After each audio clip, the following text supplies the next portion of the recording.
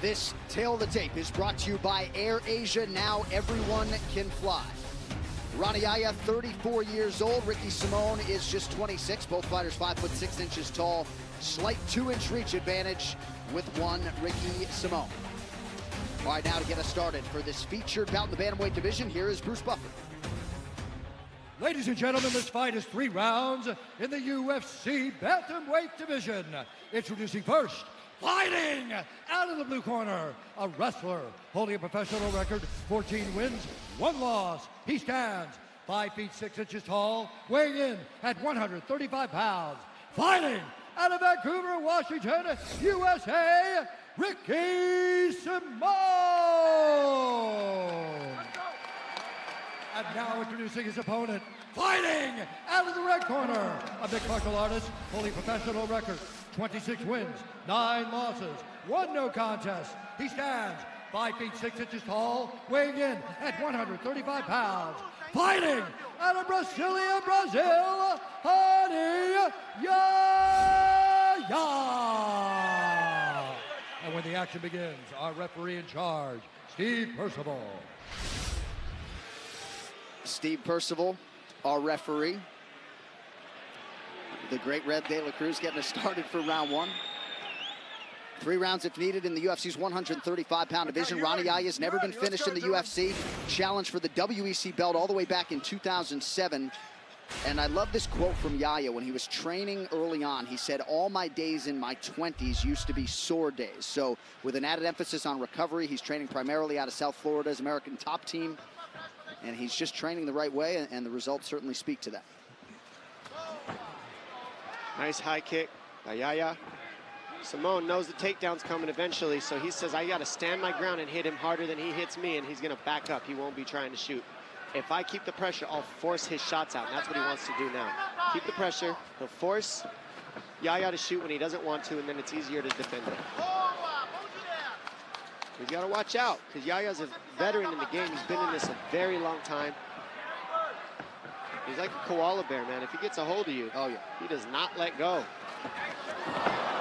Level change from Yahya. Tonight, the first fight outside the United States for Ricky Simon. Oh, big uppercut, but you see, Rani's willing to trade because he knows, go ahead and take me down. So he's just going to stand his ground and throw as hard as he can, and that's what we're seeing right now. Yahya takes exception with those who think he's just a Brazilian Jiu-Jitsu specialist. Loaded up on the right hand there. Simon able to evade.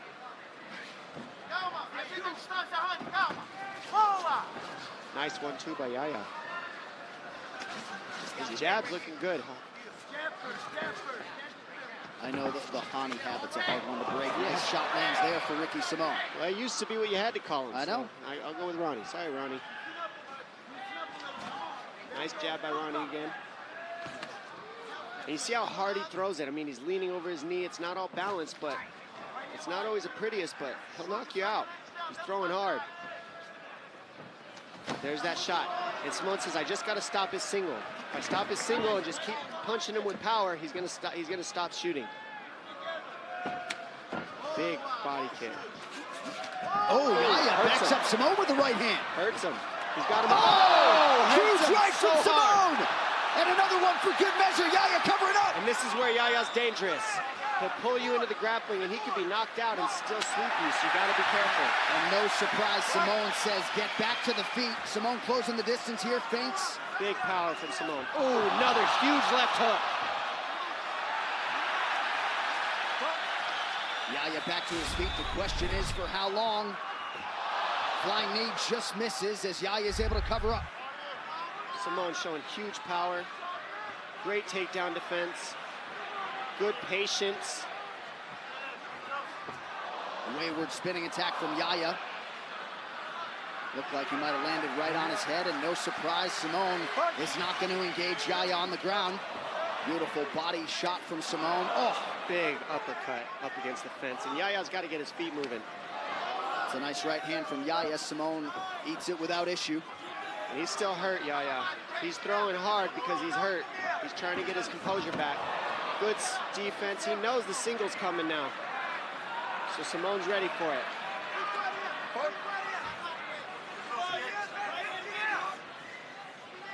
Simone stalks his prey. Yahya kept that guard high.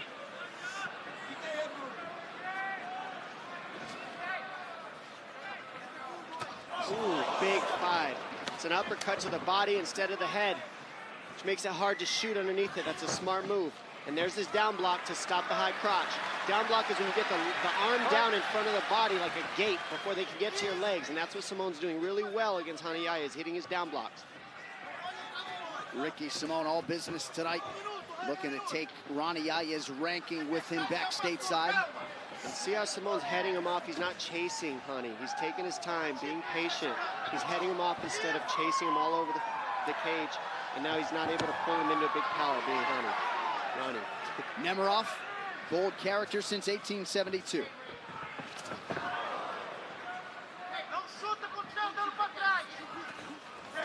Nice timing. He's timing the right hand of Ronnie so well to just go right underneath it. And Ronnie's just like, please come to my guard so I can get a second. I'm tired of getting punched.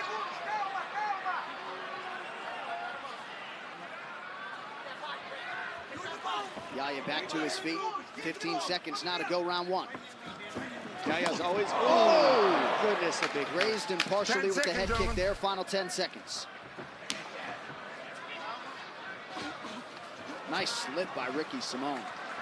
Yeah, because Ronnie's throwing so hard, he's able to see it coming. Tonight's corner cam is brought to you by Hudson Shipping, Shipping Innovation.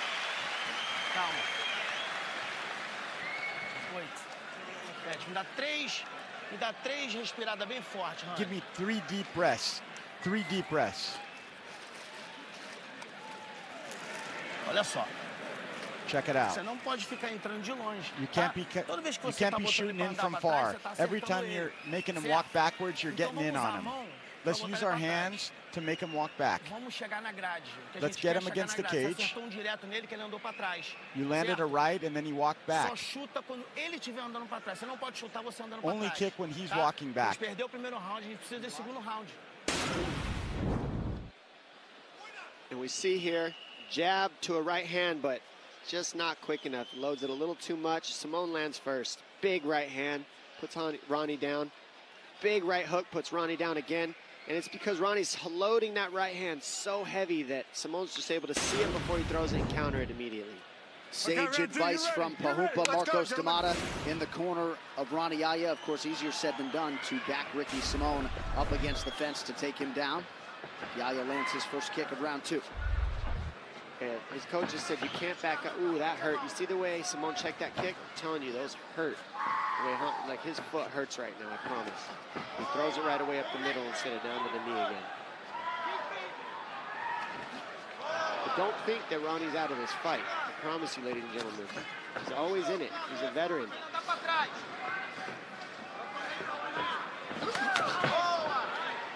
Fought Mike Brown in his UFC debut. That was a win in January of 2011. Then Chad Mendes in his second UFC appearance. You can argue this is the closest he's been to contention since that time. He was number 14 in the world going into the Joe Soto fight. Simone looking sharp. He sees everything being thrown at him. He's never getting off balance. He times the takedowns and doesn't engage all the way to the mat. I mean, everything he's doing is the perfect fight to fight Ronnie Yahya.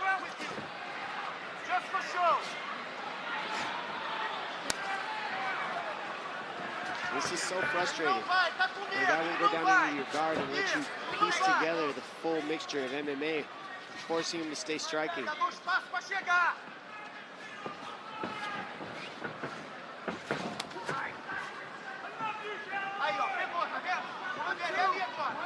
Three and a half minutes to go here, round two. Simone feints, trying to close the distance yet again.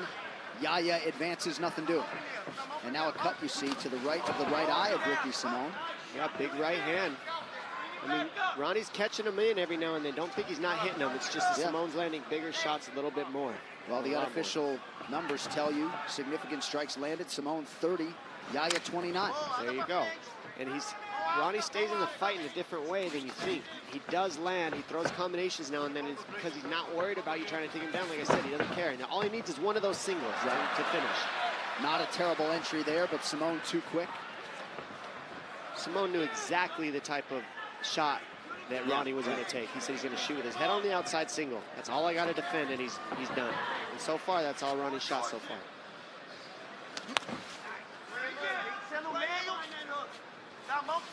No corpo mesmo, não precisa na perna não, tem que ser no corpo. Isso, aí ó, fecha o ângulo. Straight shot there from Ronnie Yahya. We're being told, and now we see it, a clash of heads caused that opening on the right side of Ricky Simone. Fecha o ângulo. I wonder if the judges actually know that, you know? Doubt it. So does that go against Simone in the scorecards? And that's so interesting because it's a headbutt. It's not legal. So Well, oftentimes you'll see a referee audibly say it was a headbutt that caused the cut, but Steve Percival did not, I don't believe. Under two minutes now to go in round two of a possible three. And this is why it's so hard to finish Ronnie because you can't fall him to the mat. Oh! That's all he wanted, that one right hand. That's what I'm telling you. You have to be careful because you can't go to the mat with this guy. And Ronnie can throw as hard as he wants at any time. So all he's got to do is land a couple, get that one takedown, and then it's a problem. Now he's a problem for Simone all of a sudden. Now Yahya with an extra burst, plenty of time with which to work here. Round two. Simone leads with an elbow, unable to land. Simone keeping his footwork going very nicely. Oh! Huge. Oh! oh my goodness, a nice elbow lands by Simone. This has turned out to be an awesome fight.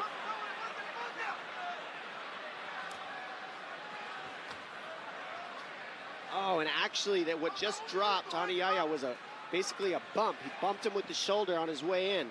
I like to call it a crash. You crash into him so they can't keep the pressure. And that crash just really hurt. You don't see Um, that every day, right? Like a linebacker Never. going in to make a tackle. But that's exactly what Simone said he had to do. He said, I got to stand my ground when he comes in and hit him with power, and then he can't back me up and take me down. And he's exactly right. Got to watch out for that right hand of Ronnie, though. Simone splits the guard with the left hand, now connects to the body. 40 seconds to go in the round. That's some slick stuff on the feet from Simone as he sticks and moves. And that's nice of, of Simone to do that. I mean, you guys, people at home might not understand. Why is he taking him down, not engaging? Because it messes up the rhythm of the stand-up. It buys Simone some time. It makes Ronnie think a little bit. Makes him feel a little bit silly getting dumped on his butt, even though it doesn't do a lot of damage. And that was an illegal kick, technically. That was straight to the face while he's on his knees. That's illegal. So You see Simone partially engaging Yahya, but trying to keep his distance. Now at the end of the round, he'll engage. With 10 seconds left, he'll engage in the guard, but I don't suggest doing that through the whole fight.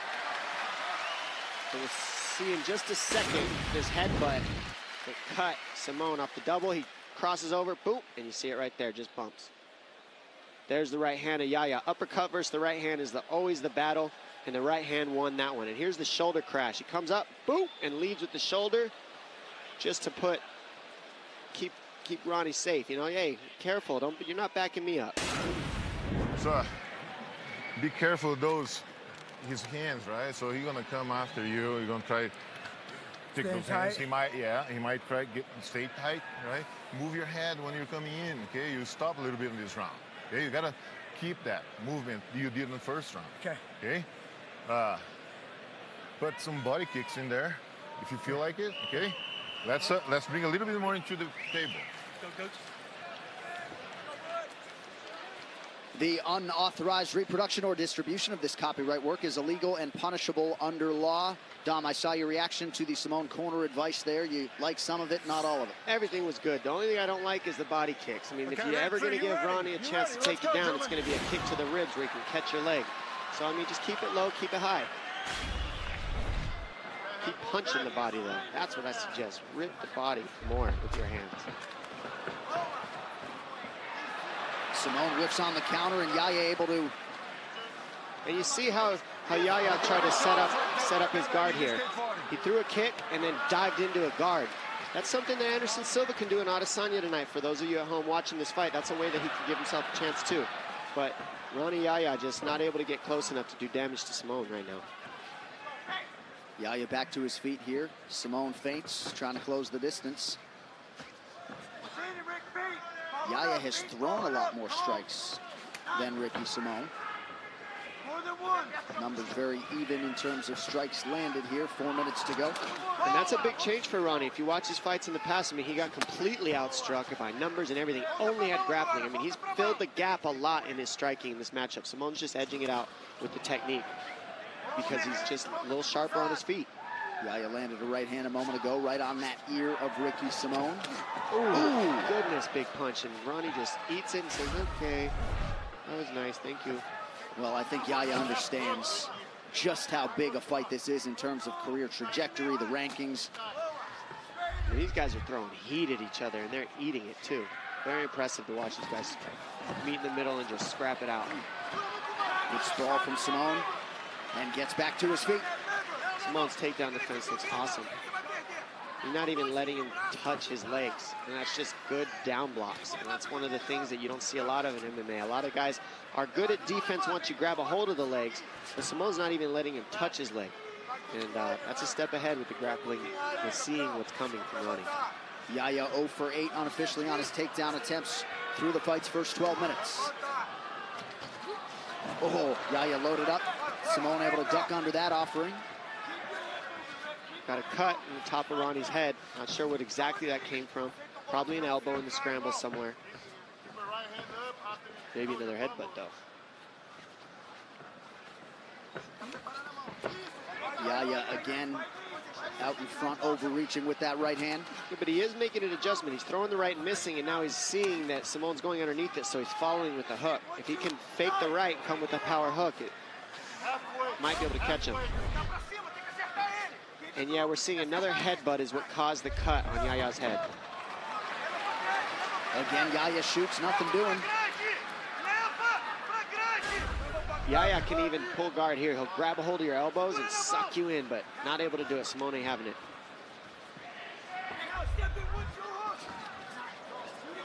Body head for Simone. Really starting to put it on Yahya right now. Yahya's getting hurt.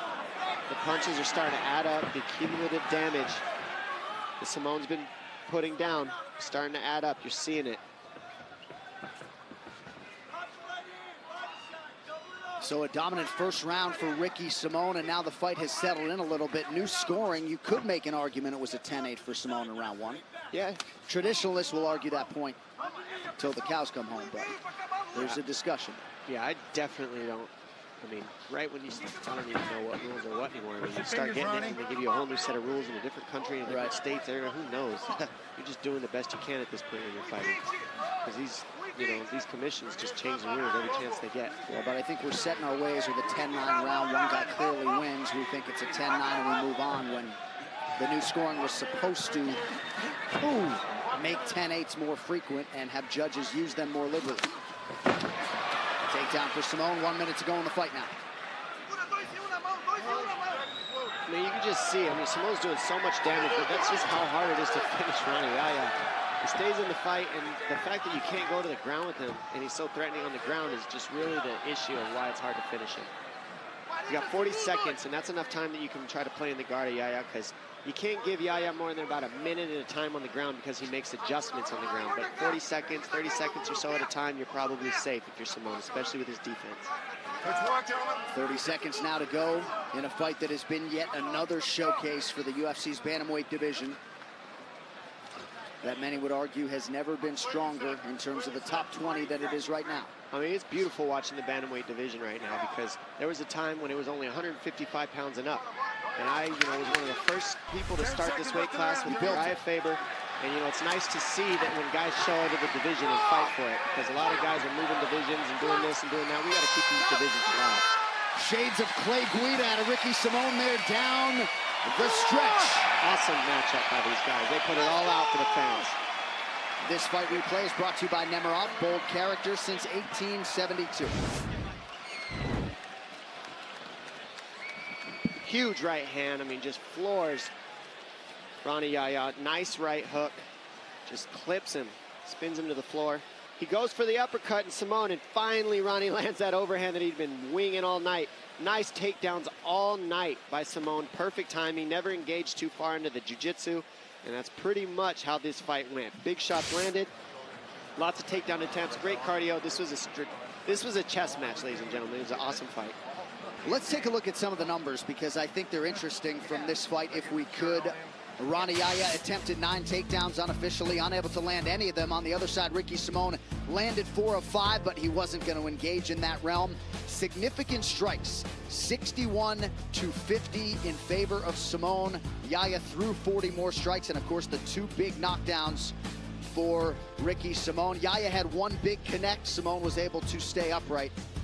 And all indications are this will be the eighth consecutive win for Ricky Simone, but you just never know. Simone is durable as they come. We found that out tonight.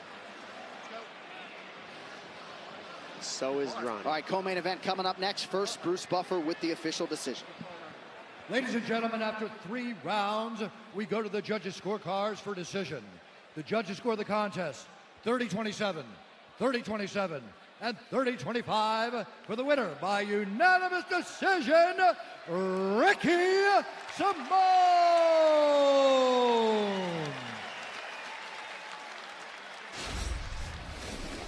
What a fight, gentlemen. What a great showcase for the bantamweight division. Here he is, Ricky Simone, 15 and 1, eighth consecutive win. Got to feel good about that one, man. That guy is no picnic.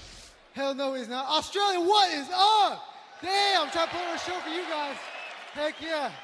So you had to deal with some adversity in the fight. The cut, obviously, due to a headbutt. He did land once on the feet, but this was your fight, and you certainly took it to him early enough.